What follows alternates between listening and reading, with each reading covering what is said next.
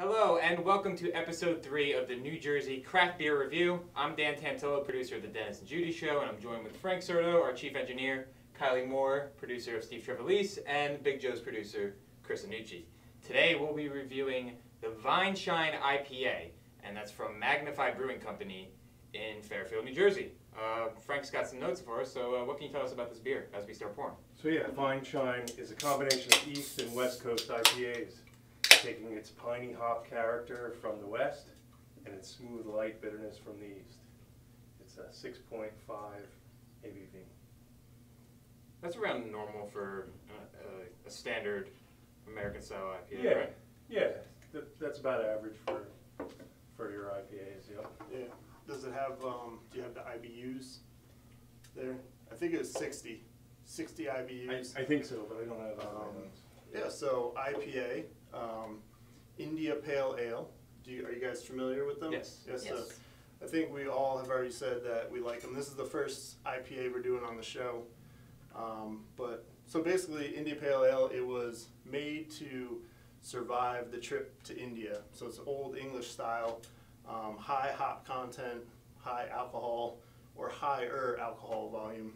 Um, and we're gonna check this one out, Vine Shine. Let's check the color first. So what do you guys think? That's like straw, Straw color, yeah. maybe apricot, Golden.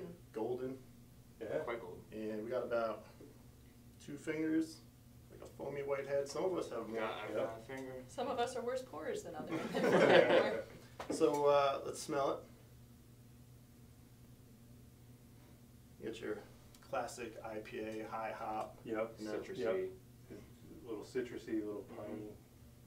yeah, sort of pine, smell. maybe a little pineapple, Yeah, I get a little pineapple.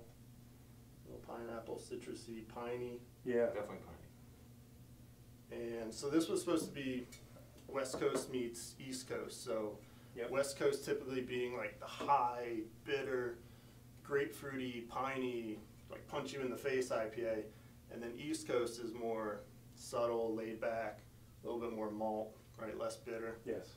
So you guys ready? Mm. Cheers. Cheers. Cheers. Try it out.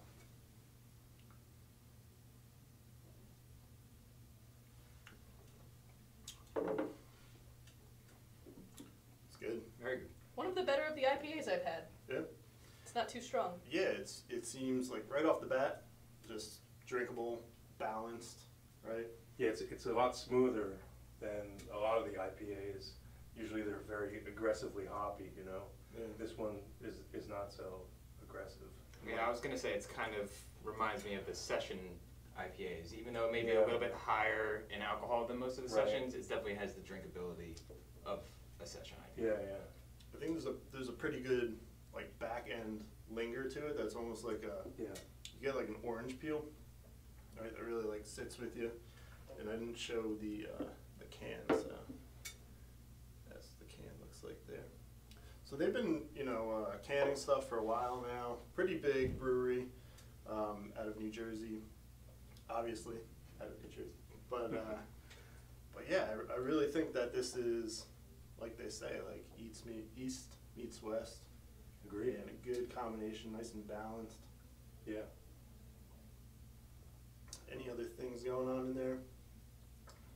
All I was gonna say is that the there's not that strong bitter aftertaste that a lot of IPAs have. Yeah. And that's something that's big with me because you want the whole experience of drinking the beer to be enjoyable. So so far so good.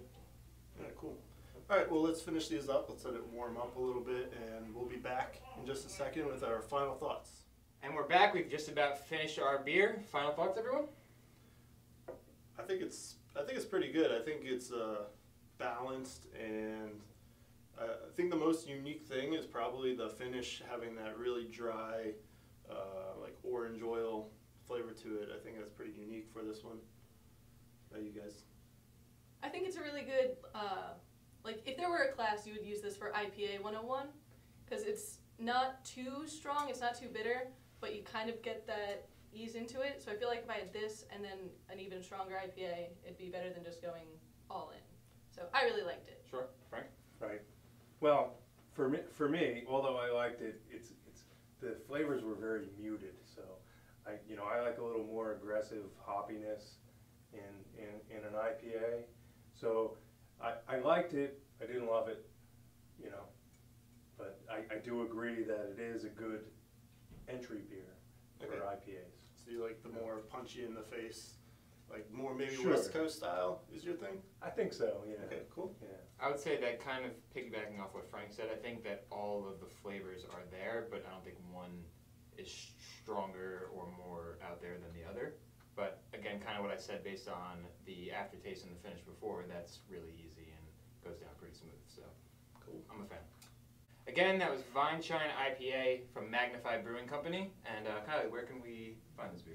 Well, you can find them in growlers and cans at Magnify Brewing in Magnify Brewing in Fairfield. It's also at the Tap House 15 in Wharton, New Jersey, or House of Brews in Turnersville. All right. Well, thank you guys so much for watching. Let's uh, swim one more down. Cheers. Cheers, everyone.